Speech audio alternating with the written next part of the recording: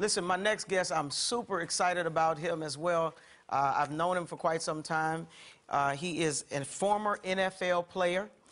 Uh, he is a three time Pro Bowl appearing NFL player, motivational speaker. He is a father, and he has recently founded an incredible organization called the Locker Room Campaign. And I'm really excited to talk to him. Would you please join me around the world in welcoming Brother Tommie Harris?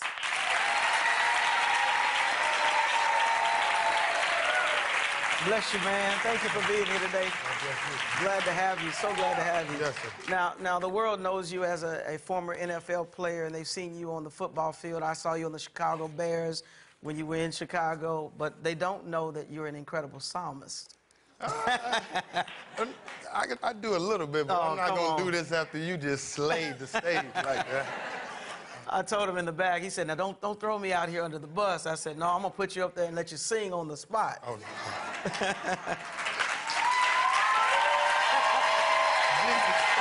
got some help. now, honestly, there, there is a message that I, I know it's a testimony, actually. Revelations 12 and 11 says, We overcome the enemy by the power of the blood of the Lamb and the word of our testimony. Yes, sir. There's an incredible testimony that I know you have to share with the world. Uh, two months after being married, uh, you lost your wife very tragically, Yes, sir. And uh, you all had children. Yes, sir.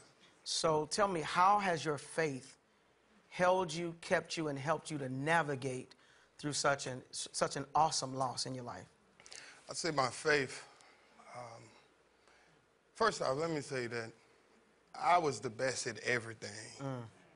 Number one at getting drafted. Number one at going to Oklahoma University. Number one at. So I never was really tested. I knew God in a good place. I didn't know Him when things didn't go the way I wanted. Oh, wow. Wow. So, at, at, at, at this time in my life, my faith is stronger than it's ever. wow. And it's been tested. I would always ask God when I was in college, like, God, I want to know you this way, and I and I want to I, want to be able to walk into a room and people would really feel the oh, anointing wow. of God coming to this place. And you got to be careful what you ask That's God it. for. Yes, sir. And, Yes, and, you and, do. and my, my, my whole thing is that no, no means that I am perfect, no means that I am perfect, but every day I have awakened with a, a, quenching to God, like, what do you desire from me? And, and after losing my wife, uh, my wife went to have a breast reduction uh, in Oklahoma, and she was doing it for Valentine's Day, getting ready for our big wedding. We ended Wow. up getting married January 1st. And uh, something told me I was playing in San Diego, and God said, "Why don't you just marry this woman?" And, and everything, you know, when you when you're in the when you're a man and you're going through a relationship, everybody's telling you about what you love. Yeah. And and, and it kind of makes you drag your feet a little bit. Yeah. Kind of makes you so. At this particular time, me and God just started spending more and more time together. I was by myself in San Diego. My wife was pregnant in Chicago, and um, uh, I remember her flying down to come visit me in San Diego, and uh, I said, "Man, let's just get married. Let's go to the courthouse and get married." Wow. And I got married on New Year's, and after that, my wife went to get a breast reduction to, to fit her little dress, and she you know you know how they yeah she wanted to look good, and, and the wedding was in July 8th, and. Uh, she calls me. She said, "Come down to uh, Oklahoma after wedding. We're gonna go out. We're gonna have a blast." So I'm getting on the plane to go meet her, and I find out that she's she's unresponsive. And I'm like, "How she unresponsive? It's a breast reduction. She should Right. be in and out." Right. She ended up having a brain aneurysm. Wow. And, and, and, and at that moment on the plane, I remember taking off on the plane when I got the news to go meet with her. I remember God just saying, Do you trust me? And, and in that moment, man, tears began to run down my face, and every tear meant something to me. And every every tear begins to speak to God. Oh, like I remember on my knees asking God that, God, I want to feel you, know you in another way. And, and I wanted, so God said, Do you trust me? And every tear made sense. Like, don't mm. panic. Trust in God. Mm. And from that point, my whole desire in life is to show people to appreciate breath. Wow. And, and, That's and at 28, I That's pulled the good. cord on my wife. At 28, I pulled a cord. I had to decide whether she is going to be a vegetable or should she go on. And, and God said, let me handle it. And we decided to do what we had to do. And, and from that point on, I told God, from every day of my life, I would show people to show their loved ones, give them the flowers while they could smell it. Don't wait till the battle is over. Don't wait till the uh, crying over the casket. But every day we got to realize that we are dying daily. That's good. And that casket gets closer every day and every day. So my whole thing is just to, to just to encourage all the believers, man, that God is able to do whatever. He's Praise able God. to be Praise exceedingly abundant of all. It's amazing to me, it's absolutely amazing that when you ask God for uh, increased faith, Yes, sir. that it comes through the trying of your faith. Yes, sir. You know, I say this often faith is not faith until it's been tested. Yes, sir. Until you have to trust in the Lord with all of your heart mm-hmm. and then completely lean not to your own understanding. sir. because his ways are not our ways, his That's thoughts are not our thoughts. As high as the heavens are from the mm-hmm. earth, so are the ways of the Lord from us. When you really are in that position that you have nothing else to depend on but God That's and it. his word, That's it. that's when your faith really becomes faith. And and what you're saying means so much to me now. Praise God. I can understand Yeah. it. You know, when you Absolutely. haven't been tested, you just hear these words. Right. But when you've gone through something, Yeah, yeah. when you've gone through That's something, and, you know that, but, but I'm, I'm here to encourage everybody that in the dark times, Mm. we've been made to endure and endure and, and endure. And I, and I think my message, my message to, to all the men and all the people of God is that we need to know how to prepare for these struggles. We need to be prepared for these things to come. We've been made endure for the night, but your joy Yeah. comes in the morning. So that's what it is. I, I, I'm just, I'm gonna keep going and going until the morning comes. I'm gonna That's keep going for That's God. good. So let me let's talk about the preparation. You said we need to prepare. What do you think are the best methods of preparation, or how do we prepare for the struggles that are inevitable in this life? You shall have tribulation. Yes, sir. We know it's coming. Yes. So how what, how do you prepare for that? I think preparing is admitting the truth. Mm. And, and you would look at, I was talking to a friend on the way here. I said, it's crazy how we would laugh at alcoholics who get enough courage to go admit that they're alcoholics. Oh, wow. We would laugh at drug addicts that will admit that they have a drug problem. Mm-hmm. But we're the same people that sit and laugh at these people that struggle with the same situation they're dealing with. And we just have to admitting, admitting, God, that I'm not what I say I am. Admitting that this ain't what it is. And once you can admit, you can God can begin to grow those Yeah. things. True repentance. That's it. Leads to God's forgiveness. That's it. Yeah, and, and total restoration. Yes, sir. Now, following your wife's passing, uh, you left the NFL. Yes, sir. What prompted you to do that, or what made that decision, uh, helped you to come to that decision? Well, I actually, I didn't leave the NFL. It kind of like the doors were locked on me. Okay. And, and when you, I, I'm so glad that it happened, though. I, I'm telling you, I'm learning so much. I'm learning so much. It's painful, but it's necessary. Mm. And, and I'm telling you, I'm so serious. Like, I, don't, I, I tell God, whatever you need to do, Thy will be done. whatever. That's good. That's good. Whatever. If That's I gotta lose again, if this, in That's order good. to do what you need in my life, God, I didn't even pick my name, my skin color. You Lord put me here, God. Yes, sir. I didn't get to do any of it. So whatever you do in my life, you get the glory.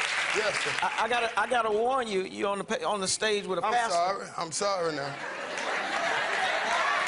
Now you can't, you know, you can't, ra- you can't raise your voice like that. I, I'm, I'm, just, Cause I'll go with you. I got you. We'll tear this stage up here on, on TBN tonight. Uh, i- is there anybody that's got a whatever kind of faith? Hallelujah. Hallelujah. Now, you've, you've launched an incredible speaking series called The Locker Room. Yes, sir. Uh, tell us more about that. Uh, I, I, when I said the, the locker room, when I said the NFL kind of locked me out, Mm. I wanted to build something for men that you cannot retire from, a locker room that you can never retire from. Mm. That's And- good. And, this is something I feel like needs to be in all cities, that men could get a Tuesday and all come and meet from all religions, all, all things. All coming to an understanding of what God wants from us. Yeah. And, and a lot of times you'll hear, like at man conference, I'll have friends that's Muslim that want to go, but it's in a church, and they don't. And you're like, these little things are cutting you off from seeing who God is. Oh, that's so good. I, I built this That's platform that whoever comes, but I know it's in me. Yeah, And, and I built it. We can have it in an aquarium. We can have it wherever y'all want it to That's be. good. The church is in me. Go ye therefore. That's it. That's Go it. ye therefore, Yes, sir. teach all nations. Yes, sir. baptizing them in the name of the Father and the Son and the Holy Spirit. You know, the scripture says, and I become all things to all men that I may win some. Yes, sir. So, so I, I, I take it because of your NFL experience, you've been exposed to a very vast array of personalities, religious backgrounds, Yes, beliefs. How do you manage ministering to those people and, and standing firm in your faith, but encouraging them to take a look at your faith and finding out that Jesus is the way? I I think the way you manage and the way I got in trouble in the beginning Mm. is when you would say, you would talk or project words that your feet have not lived. My God. And, and, and, and, and My a- God. a, a lot of hold times. on, hold on. I can't let you skate by that. Did y'all catch that? Your, your, your, your mouth would project something that your feet have not yet Haven't been there. My God, that's you, good. You've been preaching mama That's testimony good. of That's who God is, daddy testimony. You, you haven't had a, a, a road to Damascus that's experience. good. That's good. And, and, and, and, and, this is my thing. Like, I, I feel like a Paul, and, and God has changed a lot about me. My name is no longer Tommie. It is peaceful. It is patient. It is kind. It is.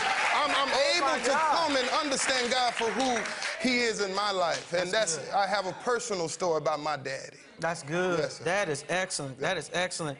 So, so I have a question uh, about your legacy.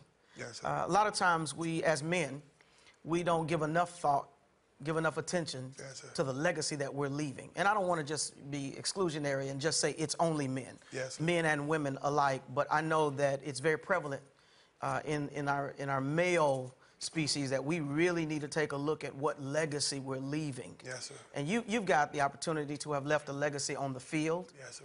and of course with your family and in the world. Yes, sir. what, what do you want your legacy to be? What do you want people to remember Tommie for when you have left this, this world Mm-hmm. and ultimately are kicking it with Jesus in heaven? That's how when I, when I leave this place, what I want to leave here, and, I thought it's, it's crazy. I, I've been thinking about this question last week, mm. and I kind of was just, and, and God was just basically, I say, when I leave here, I want to leave here with something. Mm. See, I want to leave here with something. It- it's not a, I want to leave here knowing that God was who he said he was. I, I want to leave here knowing that when I get on the other side, that all that I did here was true and all that, I want to leave here with something. And, and my legacy, I want them to know that I was just a beggar telling other beggars where the bread was. My good. That's it. My God. That's it. My God. That's it. So, so what you described was faith. Yes, sir. What you described was faith. Yes, you know, you, you want to leave here grasping hold of your faith. Yes, sir. Tightly holding on to the faith, to, to defend the faith. Believing, yes, sir. Yeah, you know, I have finished my course. I have fought a good fight. When I read that particular passage of scripture, uh, I, I got excited when I started doing some research uh, and found out that what we was really talking about was I have defended the faith. Yes, sir. I have protected the faith. There's a whole lot that comes against people Yes, in general. There's temptation, there's trial, uh, there, there's the enemy who roams throughout the land seeking whom he may devour. sir. and we've had to defend our faith. It's hard to maintain your faith, especially you could attest having gone through what you've gone through. Yes, sir. Uh, what method do you encourage other people to use? How do you encourage them to defend their faith, to protect it? Because we know that the enemy, through doubt, through disbelief, through all of the things that he throws at us, he wants to steal that faith. Right. How do you protect that faith? Protecting the faith. I, I would just say keeping it at God's feet. Mm. That, that everything that we have, it, it- see, we don't have to protect what God has given us. Mm-hmm. My daddy gave this to me. Like he gonna watch over whatever. Like that's the thing we have to we have to learn that there's nothing the enemy can do. To hurt us. He comes, he's a plot, he's a ployer. These Yeah. are these are all smoke and mirrors. And if we can really just learn to endure mm. through it all, whatever it is, whatever, whatever it is in our lives, I don't I don't care. You are not your mistake. And as long as your chest is still moving and That's your good. body is hot, you Hallelujah. can keep growing. You can Yeah. keep moving. Yeah. And, and, and that's pretty much it. It's, it's getting up and going over and over. In that movement is showing everybody that you trust God. That's good. It's more than enough. And I, I want to do more walking than I do talking That's at this good. point in my life. That's good. Yes. That's good. Uh, if, if, uh, if, there were, if there were a lot of people who grabbed that, your message and made a determination that they wanted to put their faith into action, Yes, sir. how much greater would this world be? It's, it's amazing, and I think it starts tonight. Hallelujah. Hallelujah. Now faith. Yes, Now is the time of salvation. that's it, right now. There, there's some people around the world who may be struggling with their faith. Yes. Struggling because they're going through seasons of trial and uh, the enemy has attacked them. Life has simply challenged them. Doesn't necessarily have to be the enemy. The death is a part of the transition of life. Yes, sir. And you've gone through these things. Can you just speak a word? Look at that camera right there and just speak a word to encourage them, but also let them know that, that Christ died to save them. Right. Um, I just want to tell all the believers, that's like Pastor Smokey said, that Christ came and he died. And that every day you wake up, that you keep that on your mind, that the price is already paid. Mm. And every day of your life is a gift. It is a gift. Tomorrow may never come. So what you do today matters. If, if, you've gone through grief, I ask myself this question: Do I? God didn't put me in that casket with my wife. Mm. So there's something that He has to do still in me while I'm here. And I want to tell everybody that if, if you've gone through a struggle, if you've gone through anything, just trust and know that God is able. Yes, He is. He, he is able to do exceedingly abundantly above all that we can ask or think. That nothing in this world is personal. It's all a part of God's kingdom business. And if you're in the kingdom, God, you say your will be done, and then we leave it there. And You don't try to figure it out, or, but this ain't happening. You trust and know, and you put your money where your mouth is. Mm. And you allow your feet to line up with your words, trusting that God is going to do exceedingly abundantly above. Yes. And that's the faith. You take faith and you throw it and you say, God, do it. Take it. And, and I'm telling you, when we can take this thing and throw it to God, Yeah. He does, he, he does wonders with it. And, and that's it. Just telling those to never give up. Yeah. Constantly trust God. And, and I want to tell everybody really, like, as you see your chest moving, and as you feel the breath coming out your body, just know that at every moment, God didn't have to put it back. He didn't have to put it. So, so let's not let's not waste our breathing on, on telling people off or complaining or, or or when we breathe, make it count, make it Yeah. pers- purposeful. Uh, when I go home at night and I get in an argument like we all do in relationships and different things, to fix it before it, it ends, and, and and you just have a way of. You take it one day at a time, a day at a time, a day at a time, and God continues to show up. And I promise you, He'll make a way. Praise God. Come on, let's praise God.